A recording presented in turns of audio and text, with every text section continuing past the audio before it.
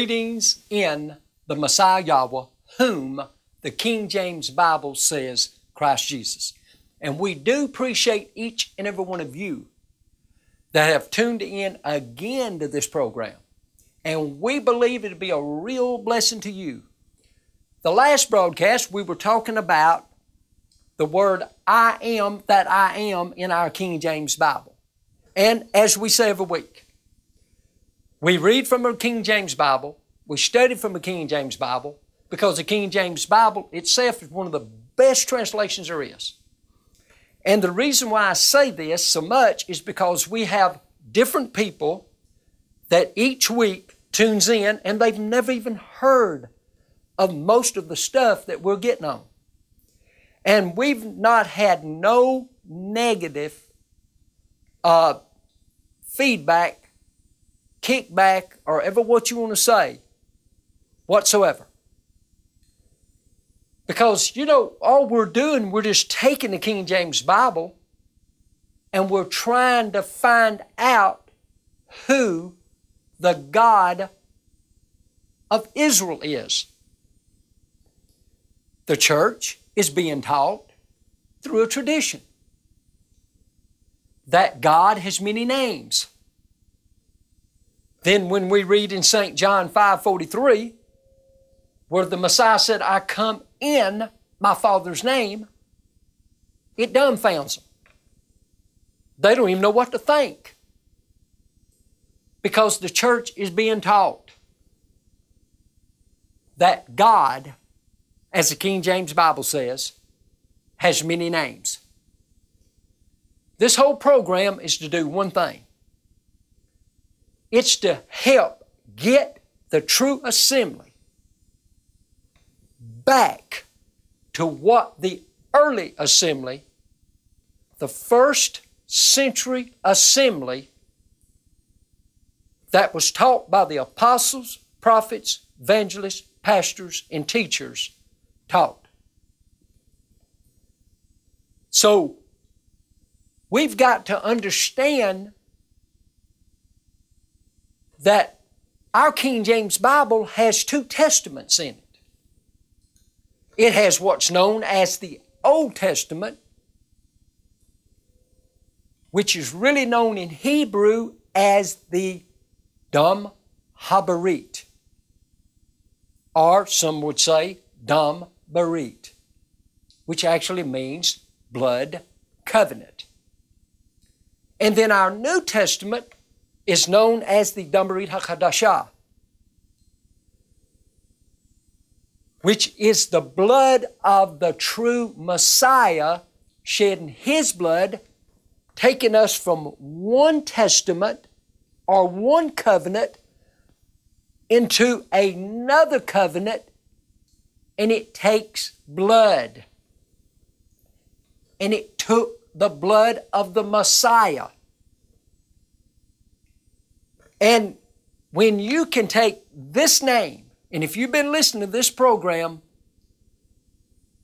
any, we put emphasis. This is the name of the God of Abraham, Isaac, and Jacob.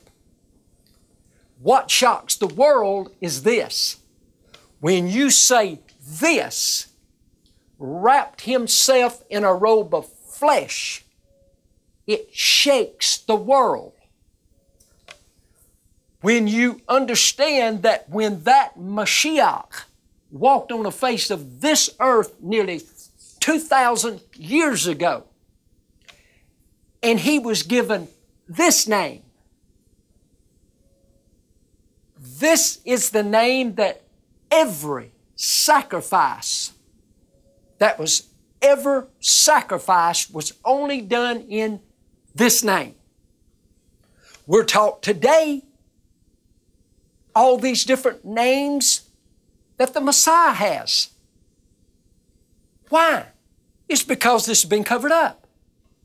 Why is it that the day and hour we're living in, you have what is known as oneness, then you have known as the Trinity doctrine. Once you begin to study this and search this out, what has brought all of this confusion? Why is it that you have all these denominations and organizations? Why? Once this was covered up, and it's covered up in your King James Bible, you find in your King James Bible where this should have been translated over to or into the English as being Yahweh nearly 7,000 times. They've covered it up with the word Lord, L O R D, capital letters. God, G O D, capital letters. Then when the Messiah come in his Father's name, you'd understand that he was talking about Yahweh. Then when the angel come down and named and give that son a name, you would have understood it would have been that. But see, we're taught all these different names, such as Yeshua. Some will say Yehoshua. Some will say Yahoshua. Some will say Jesus. Some will say Jesus. And some will say Jesus. But what was that true Mashiach? What was his name nearly 2,000 years ago? And the church doesn't even know it because this was hid. You wouldn't have all this confusion today if a cover up had not come in. We're going to be talking about these cover ups in the broadcast to come. We're going over to the book of Exodus. We're going to be using a red letter edition King James Bible, and we're going to understand this in the Old Testament so we can understand the true Mashiach in the New Testament, what we call New Testament. But again, let me say it this way it takes blood to bring a testament in. When the Messiah walked on the face of this earth nearly 2,000 years ago, and you had the, you take the book of Matthew, Mark, Luke, and John. Matthew, Mark, Luke, and John, actually, the majority of those books gives witness of the Messiah living under the Old Testament. The only, only part of those books that really gives witness to a New Testament is once his blood was starting to be shed at Calvary. Then it would take the death, burial, and resurrection to complete everything. So once you understand that after the resurrection of the Messiah, this is really, it took all of this to bring everything in. So the Matthew, Mark, Luke, and John overall give witness under the Old Testament, what we call, when we read our King James Bible, the Old Testament, what's actually known in Hebrew as Dam Habarit, which means the blood covenant. So the word Dam is blood, and the word Habarit means the covenant. So, for us to understand when the Messiah walked on the face of this earth, and then after his resurrection, his death, burial, and resurrection, what would bring the, the assembly in? Do you know that the Gentiles were really not even converted till several, several, several years later after the Holy Spirit was poured on or poured out and was poured on the Israeli people. This message of the plan of salvation belongs to Israel. The Gentiles gets it by the grace and the mercies of Yahweh. And the Gentiles today needs to be taught the plan of salvation that Israel knows. But they're not. What is so sad is that through tradition, this name has been covered up. I said, this name, the name of Yahweh, has been covered up. People today will holler, Hallelujah. The word hallelujah is a Hebrew word that means praise. The word Yah is the first two letters, the Yud and the Hey. In other words, that would be known as a short form of the name of Yahweh. It's used, the short form Yud Hey is used about 40, I believe around 46 times, give or take, in a Hebrew Tanakh. Ask people today, why do they say hallelujah? Most people really has no answer. Because really nowhere from Genesis to Revelations do you find the word hallelujah. Go to the book of Revelation, you find the word hallelujah used about four times. But literally, hallelujah, you will not find in a King James Bible. Going over to the book of Exodus 3:14, we dealt with this in the last broadcast. It says, "And God said unto Moses, I am that I am, and he said, Thus shall thy say unto the children of Israel. This world is big, but Yahweh Almighty, through the seed of Abraham, Isaac, and Jacob, are known as Abraham, Yitzchak, or Yaakov, whose name was changed to Yisrael. When you really begin to look at this, this is the big earth. This is the big world. And this big world, Yahweh took one man known as Avram, changed his name to Abraham, and dealt with him and promised him a seed. Can you imagine that seed not knowing the name of their Creator who made a covenant with Abraham. Can you imagine that? This kind of stuff's being taught today. I said, this kind of stuff's being taught today. No prophet in the Old Testament, none of the Nevi'im of the Old Testament, in other words, none of the prophets of the Old Testament, what we call the Old Testament, ever taught such a thing. The prophets would speak in this name. It was never to be covered up.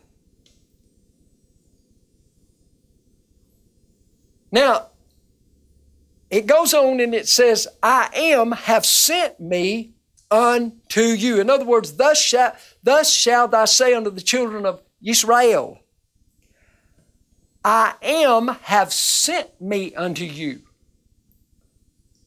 All three places where you see the word I am here in 3 and 14 of the book of Exodus.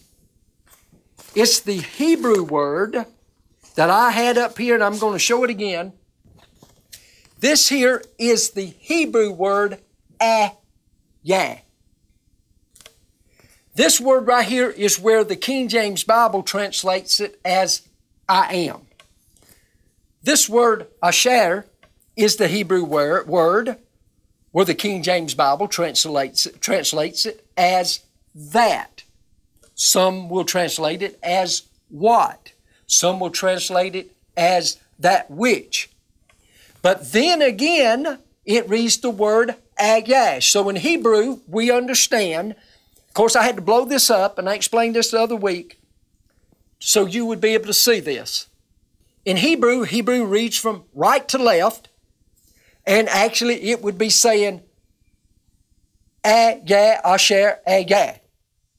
So I wanted to blow it up so you'd get a good look at this. This is what's written in a Hebrew Tanakh. When you hear people talk about I am that I am, this is what it looks like in Hebrew. I am that I am. They have made this word here a name. And they have tried to do away with this.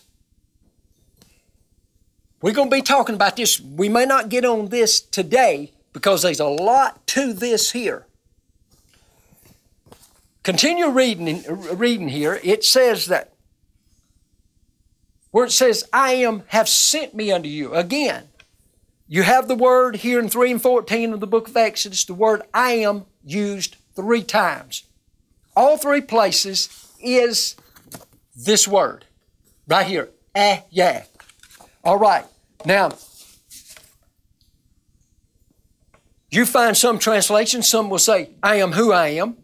Some will say, I am what I am. And some will say, I am that which I am.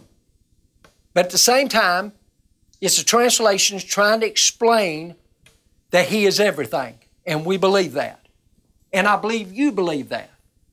And I believe that's why Yahweh Almighty's got you to listen to this broadcast.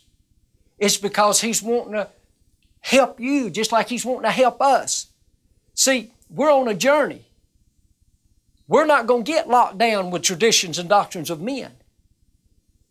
Yahweh's going to take His assembly in this end time and going to take her back to exactly what was taught nearly 2,000 years ago.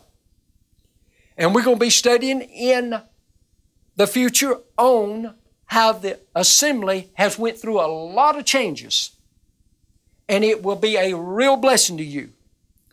Now, going over, and, and I, I'm getting excited about this. I am really getting excited about this because I have got to understand I am, or the Hebrew word agah, to understand this verse that we're going to in the book of St. John 856. Now, sometimes I get on these broadcasts and I think, well, I have a plan. And I do, I get on here, and I don't want to get on here without a plan, but once I get on here, things change a little bit. You want to you want to fall under the leadership of the Holy Spirit. But in the book of St. John, 856. Now I'm getting us out of the tradition. I'm getting us out of a tradition, and we're going to have to understand who the I am is. Now, St. John 8:56, this is the Messiah doing the talking. If you can get your Bibles, study along with us. I believe this will be a blessing, a blessing to you. You know, I, I, I, I, am just getting excited about this every time I look at this 856 right here. This is the Messiah doing the talking. The Messiah says, Your father Abraham, or as the King James says, Abraham. Now, when we look at this, who's Abraham? They knew who Abraham was. Do you know who Abraham is? Do you know that Abraham knew this? Do you know that Abraham knew who this was? He knew that this here would fulfill this. He was everything. I said, This is everything. This here is giving witness to this. This here is the one that says, I am that I am. In other words, uh, yeah, I'll share. He was doing the talking here in 3 and 14 of Exodus. My, my, my. This, this here just gets you excited. Now I want to I want to say this again. This here that's being covered up today. This here is saying I am that I am, or in Hebrew, a yeah, a share, a yeah. He's doing the talking. They've covered him up.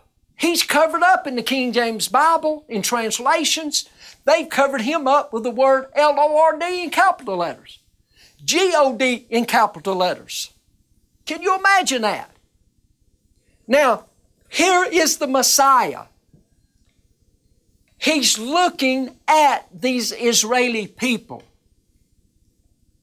And he's saying, Your father Abraham rejoiced to see my day. and he saw it and was glad. Now, I'm hoping that in several broadcasts, which is going to be away, that we're going to be able to go over and show how Yahweh Almighty, through the flesh of the true Mashiach, revealed Himself, He revealed Himself to Abraham. Now think about this. You're either going to believe this or you're not going to believe it. The Messiah said in St. John 8 56, Your father Abraham, or the King James says, Abraham, rejoiced to see my day. And he saw it and was glad. Now, wait a minute. Here's a Mashiach that was born of a virgin, and we definitely believe in a virgin birth. Here is a Mashiach that's walking on the face of this earth, and he's looking at these Israeli people, and he's saying that Abraham rejoiced to see my day. In other words, and he saw it and was glad. Now, that alone is enough to stunt you, dumbfound you. Here is a man. Now, listen to this next verse. 857 says this Then said the Jews unto him, Talking about the Messiah. The Jews said unto the Mashiach. Now, this was nearly 2,000 years ago now. This was before the Messiah was crucified. They said, Thy art not yet 50 years old and has thy seen Abraham? Wow, folks, listen to this. Here is a Mashiach that actually didn't even get baptized he was 30 years old. And I don't know if it was two years, three years that he was crucified, roughly between being age 32 or 33 somewhere really around that time. But they're acknowledging this man's not even yet 50 years old. In other words, how has Abraham seen you? This is what the Messiah said. Now listen to this next verse. Of course, King James says Jesus. And if you do any studying, you're going to find out that the name of Jesus itself is less than 250 years old. Never was even in the original 1611 King James Bible.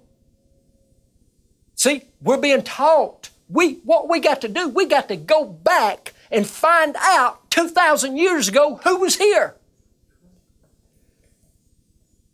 856 says, And Yahweh said unto them, Verily, verily, I say unto you, before Abraham was, I am. Before Abraham was, I am. Now, what is he saying here, folks? I took this word, and you can do it too.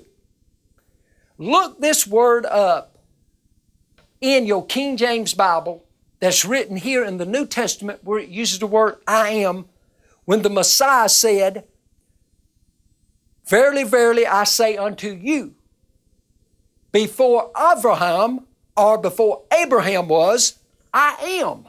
Look that word up there in the New Testament. That word is a Hebrew word, uh, uh, excuse me, is a, is a word means I am, be, I was, have been, to be, to exist, to happen, to be present. When you look at this, do you know what the Mashiach is actually saying? That. At that time, they understood that he was a yeah. A yeah. Think about this. Now, once you can really get a hold of this, how could that flesh that's less than 50 years old be a yeah? And he come in his father's name, Yahweh. Now understand this here. This is what it's talking about in St. John 8 56 when, when he said, I say unto you before Abraham was, I am. This is the word he's using, ayah. This is what is actually dumbfounding them. Here's a robe of flesh that's less than 50 years old. He says that I am, in other words, ayah, I am. Ayah. How could Abraham see a robe of flesh less than 50 years old. See, I believe that this will be a blessing to you if you search this out. I said, if you'll search this out. Here is the true Messiah. I said, here is the true Mashiach.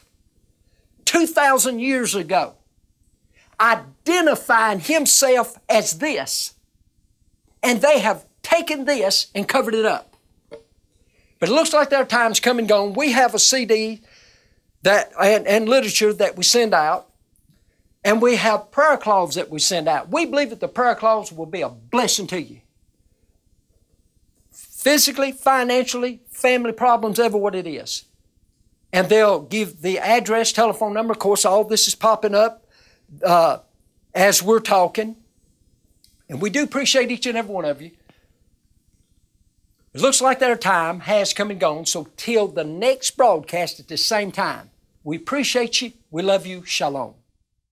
You have just heard Hour of Truth with Brother Jerry. If you would like a copy of today's broadcast on DVD, of prayer cloth or other information, phone 770 784 0703 or write 775 McDonald Road, Covington, Georgia 30014. Until next week, we bid you shalom.